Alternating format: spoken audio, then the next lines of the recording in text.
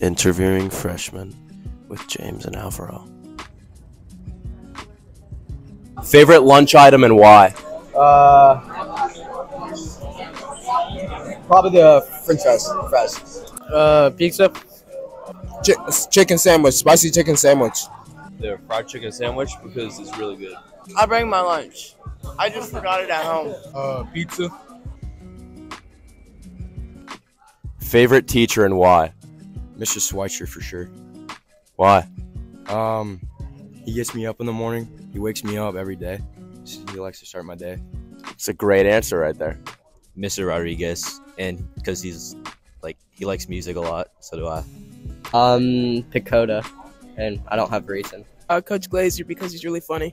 Coach Klein, And why? because he's pretty cool. Favorite teacher.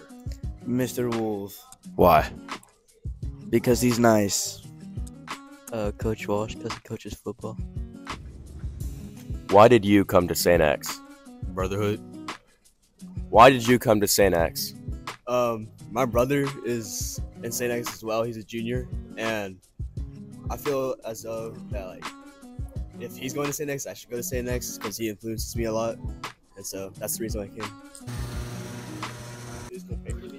Excuse me, sir. What's your favorite thing about St. X?